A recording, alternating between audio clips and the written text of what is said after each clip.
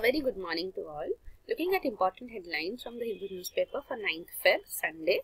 On the front page you have exit polls predict AAP's return in Delhi. So Delhi Legislative Assembly elections took place and the exit polls show that AAP may come back to Delhi.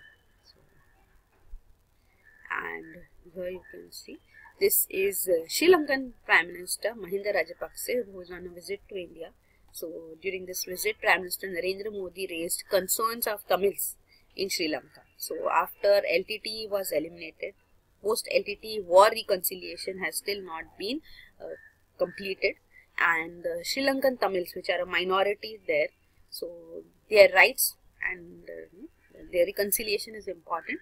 So the 13th amendment to the Sri Lankan constitution has been has been proposed to be implemented for long that it has not been done yet.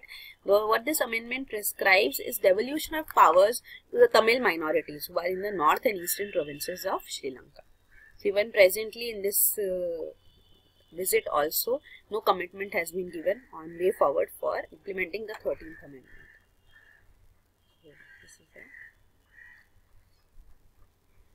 On page 9 you have West Bengal growing arsenic resistant rice. So researchers have developed and commercialized a rice variety that is resistant to arsenic. So several studies have shown that arsenic from groundwater in the soil can enter the food chain through rice. So West Bengal is among the states with highest concentration of arsenic in groundwater. It's 83 blocks and along with 7 districts have higher arsenic levels than permissible limits. So this new rice variety which is called Muktoshri or IET 21845. It has been developed jointly by Rice Research Station at uh, Chinsura coming under West Bengal's Agriculture Department and the National Botanical Research Institute of Lucknow. So the, joint research has been going on for years and now this uh, variety has been developed and commercialized as well.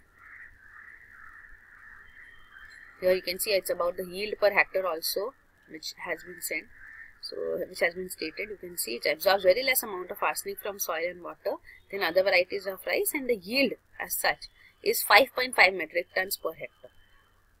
So it can range from 4 to 5 metric tons per hectare in the kharif season. Then on page 11 you have reservation and promotion in public posts not a fundamental right so this is what a Supreme Court bench has stated, rising of two judges. They observe that state governments are not bound to make reservation. Even the courts cannot issue mandamus directing the states to provide reservation. So state is not bound to make reservation. There is no fundamental right is what it wants to say. So here we should know that under the constitution and article 16.4 and 16.4a, you know, uh, provisions have been made for reservation, but it says constitution does not confer individuals with fundamental right to claim reservation in promotion. Then there's no important news on international page as well. On business page you have utilize shift in orders from virus hit China, textile exporters urged. Because China has been affected because of new coronavirus, its uh, trade has been affected. So India should utilize this shift in orders. Textile exporters should uh, boost up their exports. So importing nations are making inquiries too. Then on Sundays you have this FAQ coverage in which important issues over the week are covered in detail. So this first one is a window into novel coronavirus transmission. So this article talks about everything about N coronavirus. It talks about what the World Health Organization has to say about the main driver of this viral spread. And this is regarding LIC stake sale, which has been announced in the union budget. So what does the government's plan to sell a part of its holding in LIC entail? What does it actually mean? So that is detailed out here. And this is regarding RO you know, reverse osmosis water filtration systems. So Environment Ministry came up with a draft regulation. We saw a draft notification saying that uh, reverse osmosis systems, water filtration systems would be banned or would be would not be allowed in regions where water meets drinking water norms of source of water meets drinking water norms of BIS, Bureau of Indian Standards. So what is it all about? We had seen how NGT had also given its viewpoints on RO water purifiers that they waste a lot of water and also that essential minerals are removed. So this is the detail of this issue covered, which is very important. Then on Sundays, you also have science and technology coverage. So the first one is how bat harbor several harmful viruses without falling sick. So bats are carriers of so many viruses, like even the virus, uh, new coronavirus is uh, is uh, feared to be coming from bats. So bats avoid excessive virus-induced inflammation, and this they are often a cause of severe diseases in humans. So understanding this, how they are natural hosts to numerous viruses, including Ebola, Nipah, coronavirus, so SARS, MERS. So that is covered here. It's very important.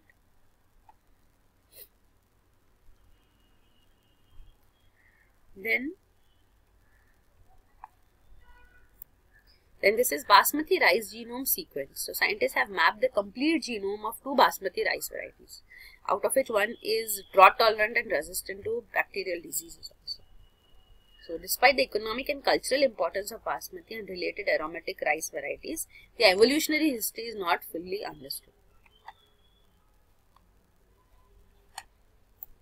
Then on Sundays, you also have dispatches coverage which covers up important international issues. So the first one is teaching Rohingya children in Bangladesh. So the UN and Bangladesh are working together to expand access to education for refugee children, Rohingya children.